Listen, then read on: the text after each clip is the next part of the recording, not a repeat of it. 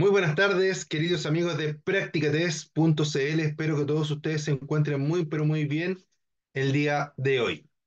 Vamos a hablar acerca de técnicas de conducción. Empezamos ayer, día miércoles, con este tema 3, ¿ya? Y ayer les dije también que, aunque se llame el temario técnicas de conducción, no reemplaza, nunca va a reemplazar a una clase práctica. Así que si tienen la oportunidad de tomar alguna clase práctica, ya sea eh, eh, con nosotros o, en alguna otra escuela, no, eso no, eh, nada reemplaza una clase práctica, ¿ya?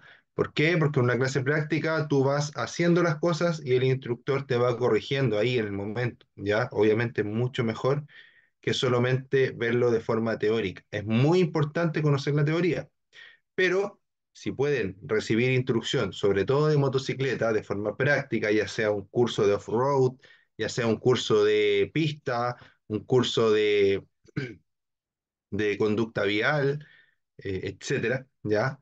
Cualquier instrucción que reciban va a ser mejor a que no reciban nada, ¿ya? ¿Por qué? Porque, por ejemplo, en los cursos de pista, las primeras clases son cómo frenar, cómo doblar, por ejemplo. Lo mismo pasa en el off-road, ¿ya? Te, enseñan a ver cuánto puedes frenar antes de que las ruedas se bloqueen, por ejemplo, ¿ya? Entonces, siempre es importante recibir ese tipo de eh, instrucción, ¿ya? En esta unidad dice aprenderemos. En este tema estudiaremos la mejor manera de manejar una motocicleta y cómo se deberá realizar cada una de las maniobras necesarias en la conducción. Comprobaremos cuál es la mejor manera de colocarse sobre la moto, cómo adelantar o frenar y cómo debemos comunicarnos con otros compañeros o cómo conducir con lluvia o viento. ¿Ya? Entonces empezamos con, o sea, en realidad no empezamos, sino que seguimos con este tema que estábamos, que empezamos a ver el día de ayer. Hoy día empezamos a hablar al tiro acerca del adelantamiento, ¿ya? Que es una de las maniobras más peligrosas que vamos a encontrar, ¿cierto?, en la conducción, no solo de motocicletas, sino de cualquier vehículo en la vía pública. El adelantamiento es una maniobra necesaria, ¿ya? No es que uno adelante porque quiere, uno adelanta porque necesita, o sea, si un vehículo va más lento, no puede ir todo el camino atrás del vehículo retrasando el propio viaje y retrasando el viaje de todo, no, no podría ser, ¿cierto? Por lo tanto, el adelantamiento es una maniobra necesaria. Pero aparte de ser necesaria, es una maniobra muy, muy peligrosa. ¿Por qué? Porque aquí les tiro un spoiler a lo que les voy a explicar un poco más adelante en la clase. Eh, cuando hablamos de adelantamiento, estamos hablando de una maniobra que para que se llame adelantamiento necesariamente tenemos que situarnos en una pista que viene en sentido contrario, ¿ya? Y ahí es donde reviste el peligro, Y ahí es donde reviste también de qué nos debemos preocupar. Siempre que estemos o que nos pasemos a una pista que viene en sentido contrario, debemos fijarnos que nadie, nadie, nadie, nadie venga de frente que nos pueda chocar, que nos pueda causar algún daño, que nos pueda alcanzar. Por eso, solo adelantamos cuando no viene absolutamente nadie de frente. Si un vehículo viene de frente, entonces no adelantamos. Aquí de nuevo estoy adelantándome un poquito a, a lo que es el final de este tema, pero recuerden que no podemos determinar la velocidad de un vehículo que viene de frente, ¿ya? Puede que ese vehículo venga muy rápido o que ese vehículo venga relativamente lento, ¿ya? Entonces ahí, ojo con eso. Dice, el adelantamiento consiste en una maniobra efectuada como norma general por el costado izquierdo del eje de la calzada, mediante la cual un vehículo se sitúa delante de otro u otros que lo que le antecedía, ¿ya? Entonces, ¿qué es una maniobra de adelantamiento? Es ponerse adelante del vehículo que va adelante de nosotros. Y ahí tenemos varias variantes, ¿cierto? Ahí tenemos, por ejemplo, el adelantamiento propiamente tal y tenemos la maniobra de sobrepaso que vamos a explicar un poquito más abajo, ¿ya?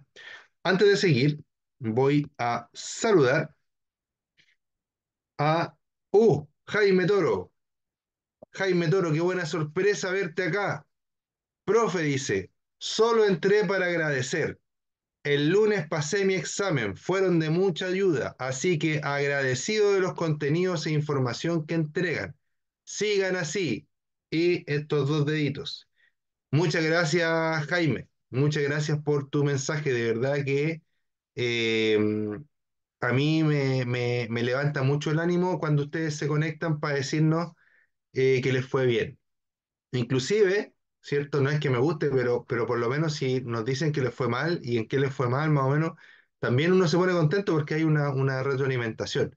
Pero cuando les va bien y nos cuentan que les va bien, eh, es una explosión de, de energía para nosotros y para seguir trabajando, ¿ya? Así que, qué bueno, Jaime, que te fue bien y te felicito porque lograste, con esfuerzo, me imagino, ¿cierto? Lograste eh, aprobar tu licencia, ¿cierto? Hay mucha gente que ustedes saben que por ahí anda preguntando si eh, dónde puede conseguir la licencia más fácil y todo eso, ¿ya?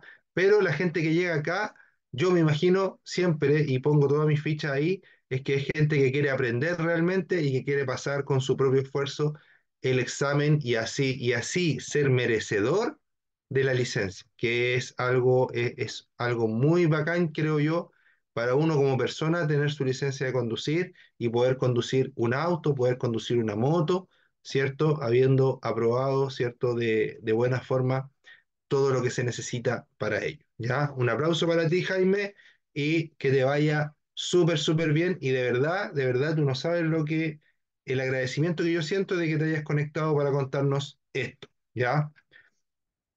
Dice Jaime, es un camino largo, pero a la vez más reconfortante. Eso, muy bien, ¿ya?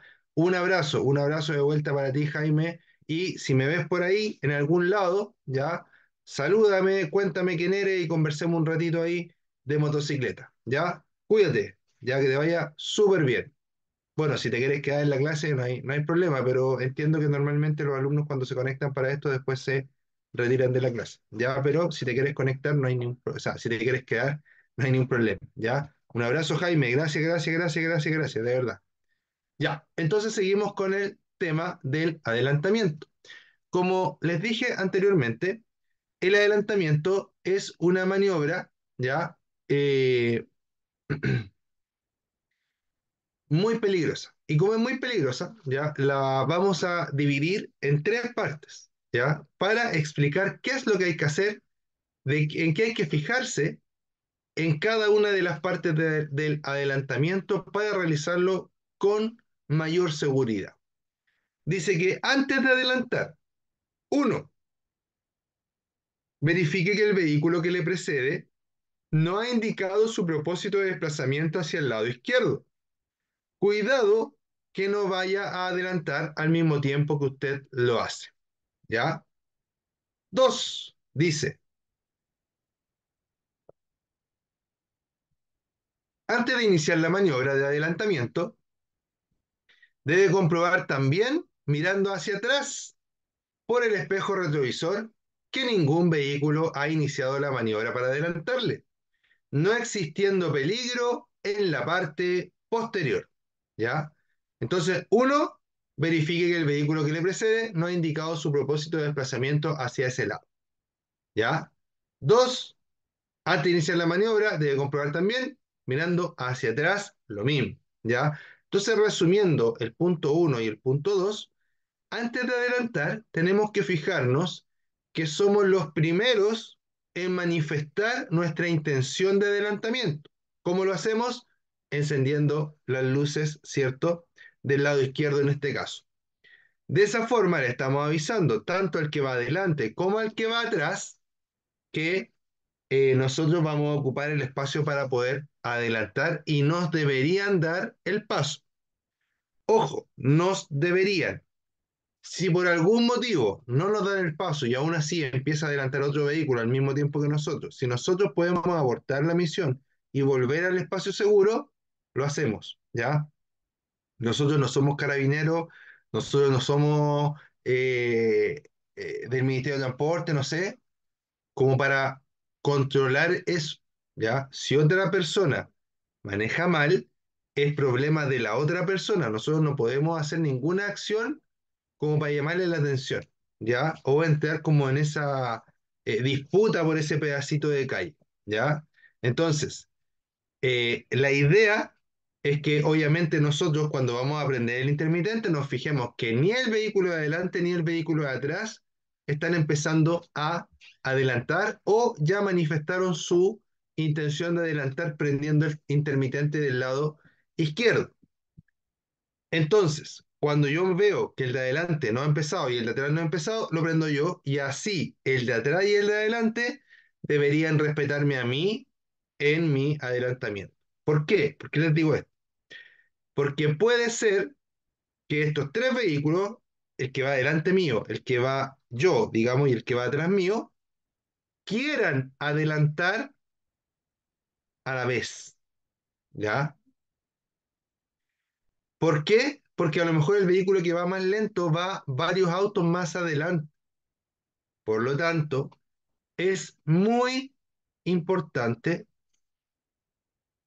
que ustedes, ¿cierto? Es muy importante que ustedes eh, entiendan eso, que no son los únicos que quieren adelantar, probablemente, a lo mejor sí, pero probablemente no, probablemente varios quieren adelantar y varios van a querer ocupar esa pista en ese momento, ¿ya? Por lo tanto, hay mucho ojo. La idea es no tropezarnos con nadie, ¿cierto? Que entorpezca y que al final termine alguno de los vehículos chocando con otro vehículo que viene de frente. Para eso recuerda siempre, cuando yo empiezo la maniobra de adelantamiento, necesariamente, necesariamente debo asegurarme que no viene nadie de frente, ¿ya? En el punto 3 dice que debo señalizar la maniobra accionando el indicador de dirección o en su defecto con el brazo, ¿ya? Entonces me aseguré que nadie viene de frente, me aseguré que el de adelante ni el de atrás han empezado todavía su maniobra de adelantamiento y entonces prendo yo mi intermitente, ¿ya? Mi luz de viraje para decirle a los demás. Y en el punto 4, ¿cierto? En donde eh, recuerde que estamos antes de adelantar, me dice que si fuera necesario, si fuera necesario, baje alguna marcha, ¿ya? Siempre les digo, en las motos de cilindrada más pequeñas, motos más, menos potentes, normalmente es necesario bajar una marcha. ¿Para qué?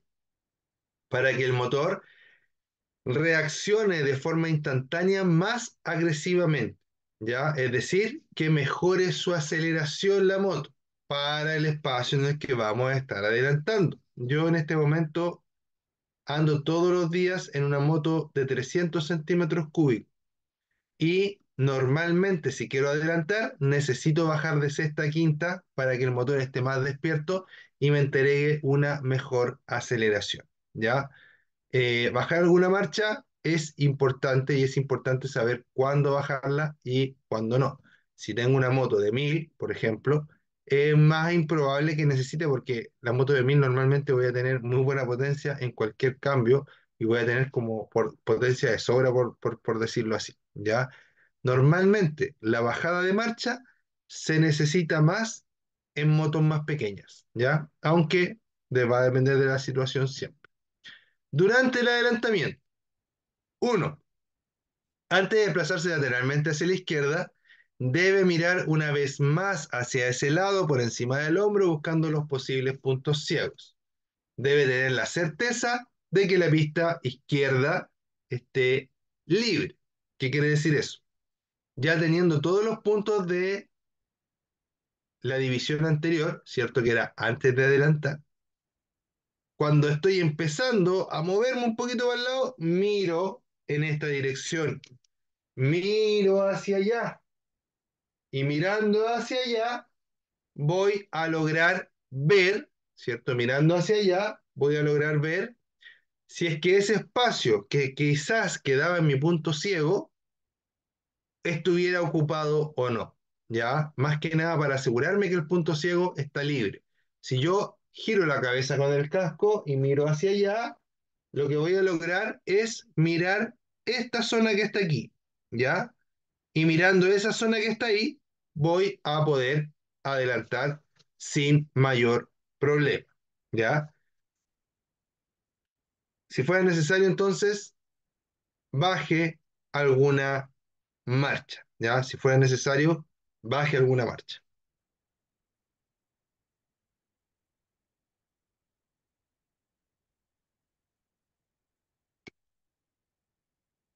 Durante el adelantamiento, ¿ya? Mirar para allá. Yo les quería mostrar. Practicatest.cl. Ah, ¿cómo está mi taza? Ya. Entonces dice, durante el adelantamiento, ¿cierto? Mirar una vez más, si está todo bien, ¡pum! Empezamos a adelantar, ¿ya? Y cuando estamos durante la maniobra del adelantamiento, ¿en qué nos debemos fijar? Principalmente en las distancias del vehículo que estamos adelantando. Por atrás, por el lado, por delante. Nunca nos debemos acercar demasiado al vehículo que estamos adelantando. ¿Por qué? Porque ese vehículo también puede moverse derecha, izquierda, frenar o acelerar. ¿Ya?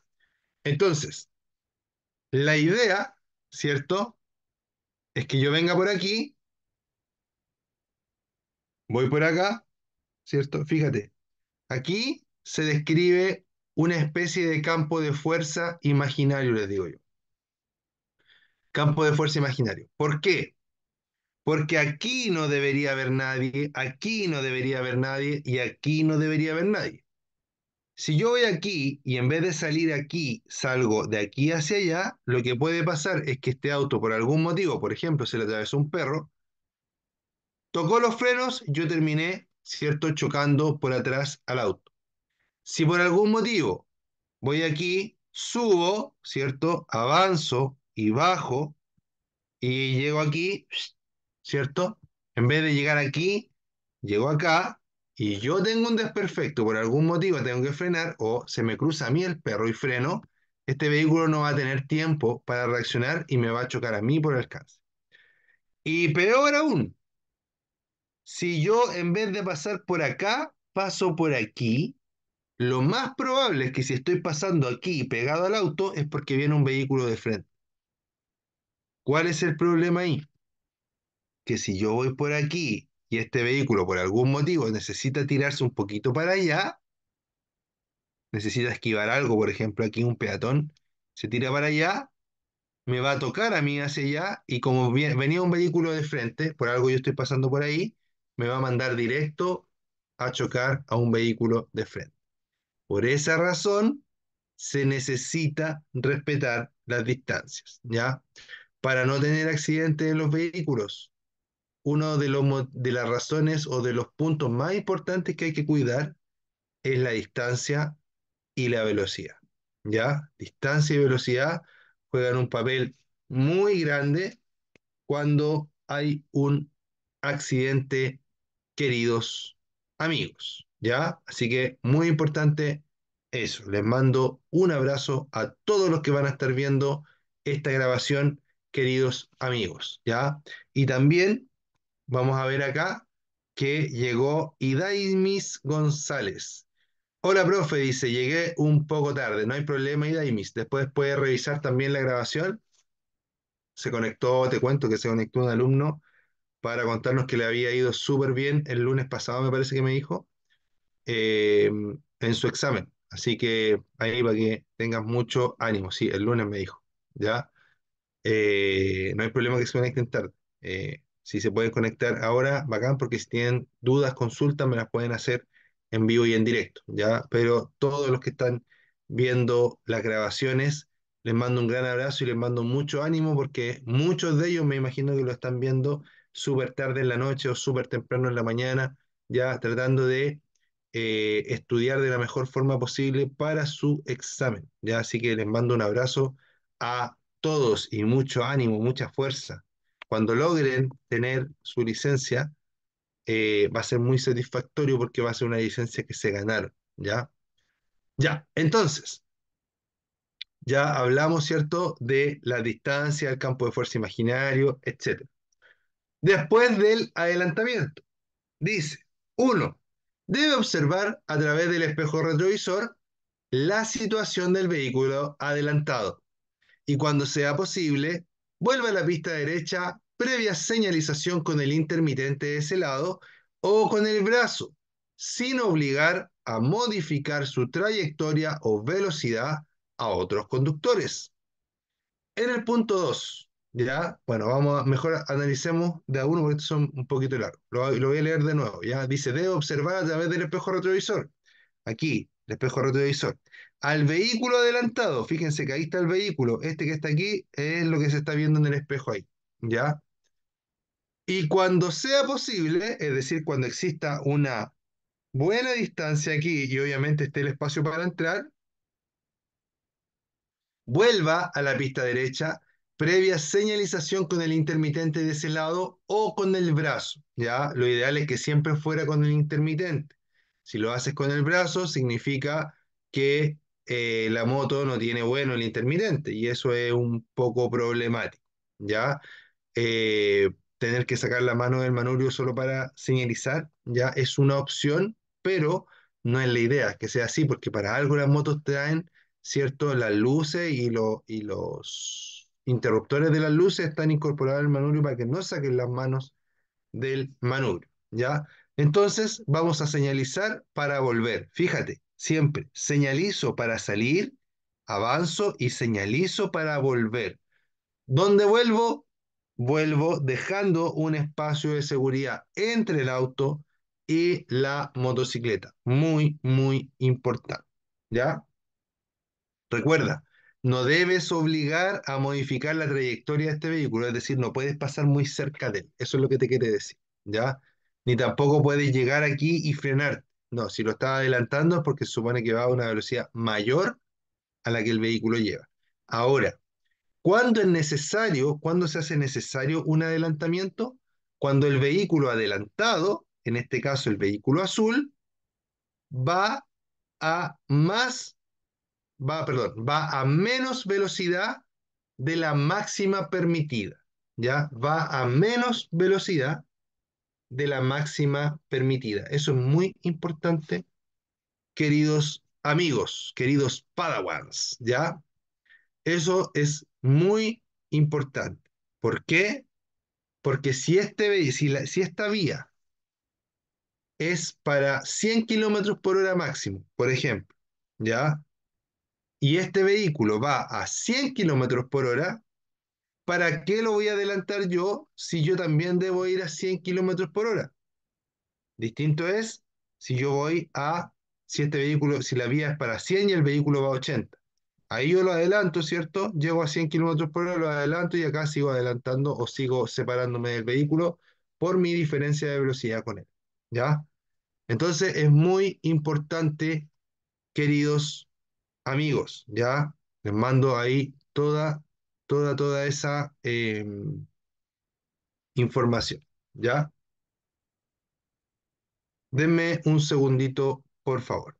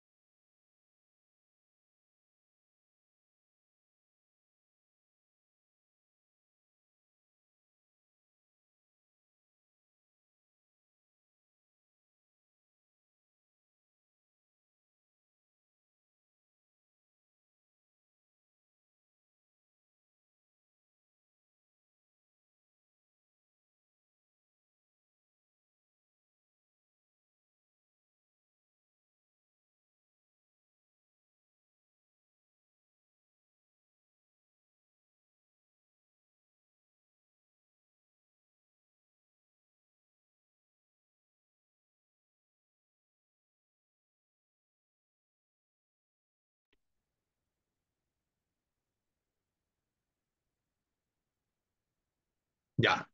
Disculpen, queridos amigos, queridos alumnos.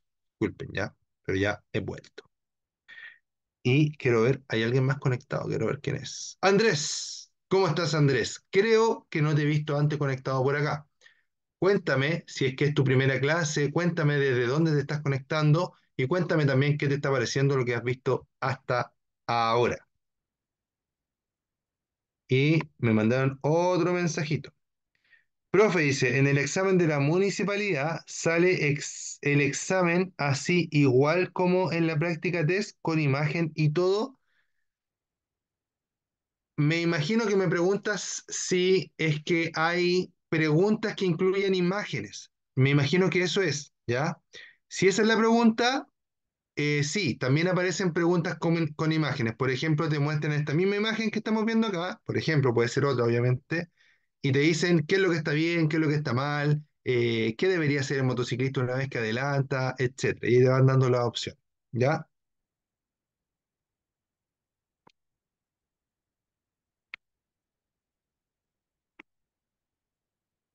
Ya.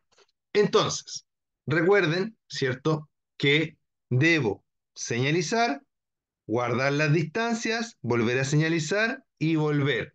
Nunca superar la velocidad máxima permitida para la vía, ¿ya? Sean 50, sean 100, sean 120, ¿ya?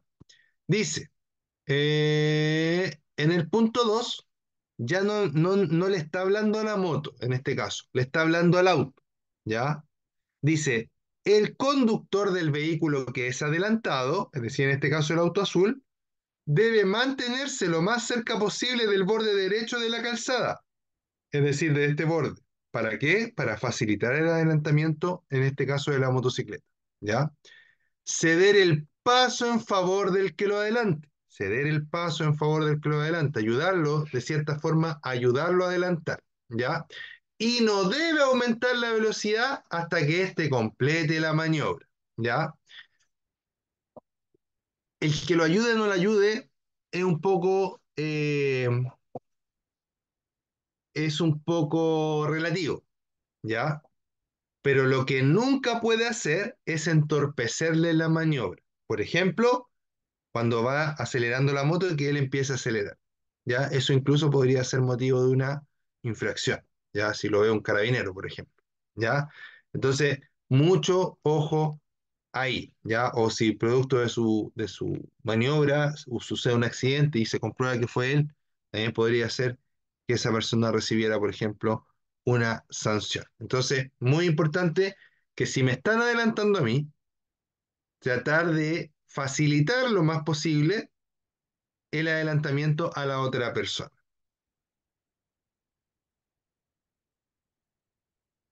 Recuerden siempre que la vía pública no es una pista de carreras. Si a usted le gusta la velocidad, le gustan las carreras, inscríbase en un track day y vaya a una pista, ¿cierto? Cerrada, con las condiciones de seguridad necesarias para poder realizar esa actividad y no ponga en riesgo la vida de otras personas. ¿Ya?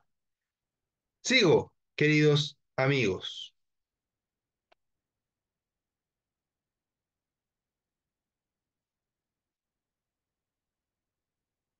Excepciones a las reglas del adelantamiento. Dice, usted puede pasar a un vehículo por la derecha solo en dos situaciones. Cuando el vehículo alcanzado esté realizando o esté a punto de efectuar un viraje a la izquierda y cuando circule por una vía urbana con tres o más pistas de circulación con un mismo sentido de tránsito. Nunca adelante a su propia razón. Nunca adelante a su propia razón. Consejos se adelanta con una motocicleta. Visibilidad. La visibilidad siempre va a ser, mi papá decía, la madre del cordero. Visibilidad siempre va a ser importante para eh, el motociclista. ¿Por qué? Porque por naturaleza los motociclistas nos vemos poco. Como nos vemos poco, podemos tener accidentes, ¿ya? Y esos accidentes los podemos, podemos minimizar la, la, la ocurrencia o la posibilidad de ocurrencia de accidente entre más nos veamos, ¿ya?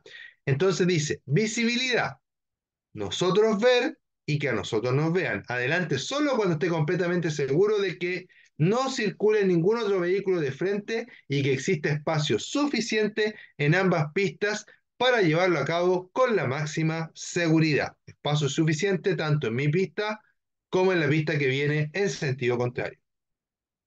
Recuerda que las rectas, ¿cierto? En el siguiente punto dice que las rectas son el mejor sitio para adelantar, porque en ellas usted tendrá una buena distancia por delante del vehículo que le precede, sobre todo si ha de adelantar a un vehículo largo o a más de un vehículo a la vez. Recuerda, puedes ver siempre, ¿ya? Siempre puedes ver, planificar tu adelantamiento, ¿ya? Si no tienes visión, entonces no puedes adelantar, así de simple. Siempre los mejores lugares para adelantar van a ser las rectas porque ahí mi campo de visión es mucho más amplio. Luego, con respecto a la aceleración, dice, use su aceleración para que la maniobra de adelantamiento dure lo menos posible. Es probable que deba bajar alguna marcha para revolucionar más el motor, tener más potencia y conseguir una mayor aceleración. ¿Ya? Muy importante ese punto, queridos amigos. Ya, muy importante ese punto de la aceleración. Y luego, señalización y ejecución. Aquí hay una parte muy, muy, muy importante que define el tema del adelantamiento. Dice, cuando el lugar sea el adecuado y el momento el oportuno. ¿Qué significa que el lugar sea el adecuado? Para empezar, que en esa parte de la calle esté permitido adelantar. ¿Y cómo voy a saber que está permitido adelantar? Porque la, la línea que divide la calzada en este sentido y en el otro sentido va a ser discontinua y las tachas que están puestas en el piso van a ser de color blanco, ¿ya? Las tachas me refiero a estos cuadraditos reflectantes que hay en el piso. Si hay solo tachas, son blancas, se puede adelantar. Si hay solo líneas y son discontinuas, es decir, como entrecortadas, también se puede adelantar. Pero si la línea es continua, una línea continua, o dos líneas continuas, ¿cierto? Significa que ahí no se puede adelantar. Además, a veces esas líneas continuas, o en algunos lugares, ¿cierto? Hay tachas de color rojo que dividen la calle un sentido y el otro. Si las tachas son de color rojo, no se puede adelantar. Muy importante, queridos amigos, ¿ya? Entonces, cuando el lugar sea el adecuado, es decir, que esté permitido adelantar, que las líneas correspondan a lo que les expliqué recién y que no exista ningún letrero que diga que en esa zona está prohibido adelantar, obvio, ¿cierto? Pero después dice, además, además del lugar, tiene que ser el momento oportuno. ¿Y qué significa que sea el momento oportuno? Significa que ese momento oportuno es cuando eh, ese momento oportuno, véanse, es cuando no venga nadie de frente y existan los espacios suficientes. ¿Ya? Ese es el momento oportuno porque eso varía. En la misma zona puede que la zona esté bien o el, el lugar esté ok para adelantar, pero no sea el momento ok o el momento oportuno. ¿Ya? Entonces, mucha atención ahí, queridos amigos, ¿ya? Entonces, cuando el lugar sea el adecuado y el momento el oportuno, comience el adelantamiento. Recuerda que el momento oportuno va a ser cuando no venga ningún vehículo de frente, ¿ya? Y el lugar oportuno va a ser cuando el lugar donde queremos adelantar tenga permitido adelantar. En Chile, queridos amigos, tenemos muy buenos ingenieros en tránsito, ¿ya? De hecho, al año, en donde estudian los ingenieros en tránsito, eh, hay muy poquitos en la carrera.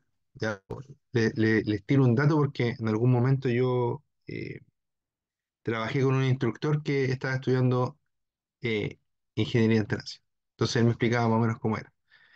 Y todo lo que se hace en el tránsito, ¿cierto? Es usado, es calculado. A eso voy que si hay línea continua, por algo hay línea continua, porque esa parte del camino no reúne las condiciones para que en esa zona se pueda adelantar de forma segura.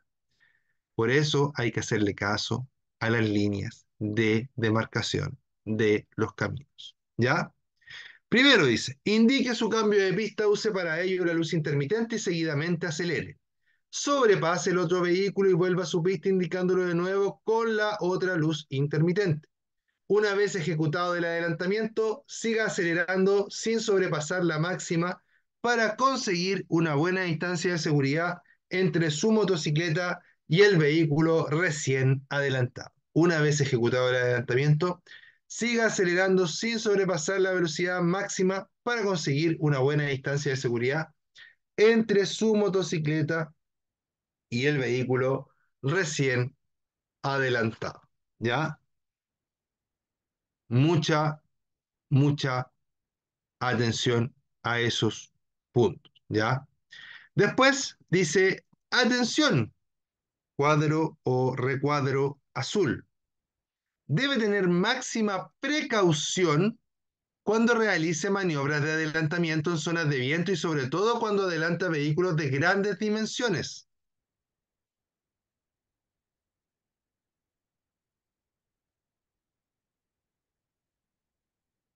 ¿Por qué? Porque estos vehículos, ¿cierto? Este vehículo que está aquí, en esta zona que es de viento, más encima le agrego un adelantamiento, a veces necesario porque el vehículo va muy lento, ¿cierto?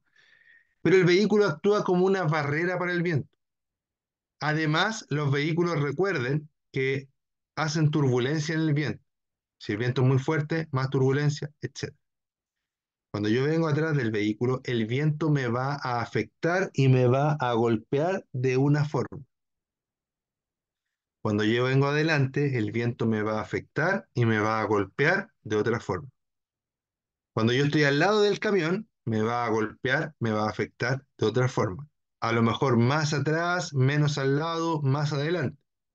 A lo mejor menos atrás, más al lado, más adelante. No lo sé, eso no lo tengo, no, no, no lo tengo claro, cómo sería en cada caso. Pero sí es diferente, sí va a ser diferente. Y la, y la moto se va a sacudir, entre más pequeña la moto, más se sacude, porque es más liviana, ¿ya? Entonces, ¿se puede hacer? Desde mi punto de vista, sí, ¿ya? Pero siempre debo tener la máxima precaución y la máxima atención a ir corrigiendo un lado o el otro eh, la trayectoria de la moto. ¿ya? Ir atento a que la moto se puede sacudir, ir atento a que la moto se puede ir a un lado y voy a tener que corregir. Y ir pensando en que eso puede pasar, porque si me toma por sorpresa, me puedo asustar y me puedo caer o puedo chocar, ¿ya? Entonces, muy importante eso, queridos amigos, ¿ya? Excepciones a las reglas del adelantamiento y aquí se pone buena la cosa. Dice, usted puede pasar a un vehículo motorizado por la derecha solo en dos situaciones. Cuando el vehículo alcanzado esté realizando, esté a punto de efectuar un viraje a la izquierda y cuando circule por una vía urbana con tres o más pistas de circulación con un mismo sentido del tránsito. Es importante mencionar que se puede adelantar a los vehículos por la derecha debido a que los vehículos deben circular por la izquierda de la calzada cuando hay una vía exclusiva de transporte público y en ese caso deben guardar una distancia obligatoria de 1.5 metros, ¿ya? Y ahora, algo muy importante es lo que aparece aquí, el tema del sobrepaso, ¿ya? Eso es lo último que vamos a explicar el día de hoy. Dice, las normas vigentes distinguen estos adelantamientos de aquellos que se realizan traspasando el eje de la calzada, denominándolos maniobras de sobrepaso. Así se entiende que usted sobrepasa a otro vehículo cuando se sitúa delante de él sin invadir la pista del sentido contrario. Legalmente, estas maniobras no constituyen adelantamiento. Legalmente, estas maniobras no constituyen adelantamiento. ¿Ya? Entonces, ¿qué es un adelantamiento? Lo que conocemos como adelantamiento, pero siempre y cuando para hacerlo hayamos utilizado una pista que viene en sentido contrario. Si no lo hicimos, entonces no es un adelantamiento y solo es un sobrepaso. Y cuando es un sobrepaso, lo puedo hacer tanto por la derecha como por la izquierda. Ahí da lo mismo, ¿ya? Cuando es un adelantamiento, principalmente por la izquierda. Después dice, usted no debe efectuar esta maniobra de sobrepaso fuera de la calzada. ¿Qué significa eso? Que usted no debe utilizar, usted no debe utilizar, esta zona. Estas son las pistas de circulación. Una, dos, tres en este caso. Esto que está al lado del camino se llama berma, ¿ya? Es decir, usted no puede adelantar por la berma, tiene que hacerlo solo por la calzada.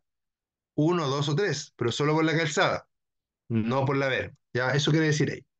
Sin embargo, que es un ojo, la ley de convivencia permite, que los conductores de ciclos, motocicletas o motonetas puedan sobrepasar por la misma pista a otros vehículos por cualquiera de los costados de estos, para alcanzar la línea de detención o la línea de detención adelantada según corresponda. ¿Ya? Estas líneas de detención son importantes. ¿Por qué? ¿Ya? Porque hasta ahí podemos llegar en la moto. Pero esto es importante, este mensaje, porque aquí lo que está haciendo es decirme que cuando hay un taco, puedo pasar entre medio de los autos. Siempre y cuando lo haga por la calzada, como decía anteriormente, es decir, no puedo pasarme por acá, y lo haga, ¿cierto?, a una velocidad moderada y tomando las precauciones necesarias siempre que los vehículos sobrepasados se encuentren detenidos. ¿Ya? Esta maniobra deberá efectuarse a una velocidad moderada, tomando las precauciones necesarias siempre que los vehículos sobrepasados se encuentren detenidos. Muy importante, queridos amigos. Muy, muy importante. ¿Ya? Eso por el día de hoy. Les mando un gran abrazo a todos Espero que se encuentren todos muy bien, ¿ya? Espero que todos pasen sus exámenes de forma fluida, de forma, de buena forma, ¿cierto? Ojalá la primera. Y eh, un consejo, sobre todo cuando van a la, a la primera prueba, no se pongan tan nerviosos, porque hay una segunda oportunidad, ¿ya? Una segunda oportunidad, digamos, que es rápida para hacer, que normalmente no se tiene que pagar de nuevo, etcétera. Entonces eso les va a ayudar a que en la primera les vaya bien porque no van a ir tan nerviosos. ¿Ya? Eso. Les mando un abrazo. Cuídense mucho. Recuerden que mi nombre es Ricardo Cornejo y esto es practicates.cl. Nos vemos. Chao, chao.